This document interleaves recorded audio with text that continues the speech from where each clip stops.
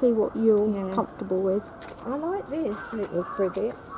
Sweet, aren't they? This is lovely. Look, just this tiny bit here. Yeah. It's a lovely little privet. Oh, look, it goes all the way up. Goes all the way.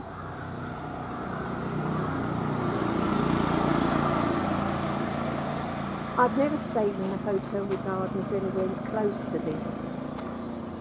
Neither have There's I, been to one be or two quite nice ones, but Apart nothing from- that resembles this at all. But in, in England, I have not not abroad. Well, I don't. I have not stayed in hotels in England. Not, not very much. I can't. I can't even recall.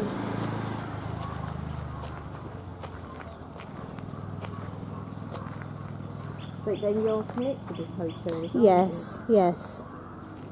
We we have our formal garden you? Do you? at uh, at the hotel. It's very beautiful. Mm.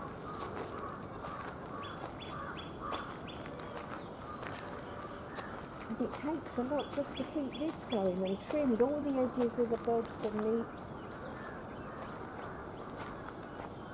Okay, That's the rose so I think the one with the curtain drawn is my room. Yeah. With the closed curtains. No, the the one that's Where it's got drawn. the gap. The gap, yeah. Mm. That is my bedroom. Mm. Yeah, I've pulled my curtains back. So. See, and they've got the boxes all the way around on the walls here. And look at those tubs over there. On that Yes. wall there. Sorry, mine. Oh no, no, not at all. No. The, uh, the tubs are pretty, aren't they? I actually quite like those tubs. Oops. and they've got some lovely roses that are going to come out.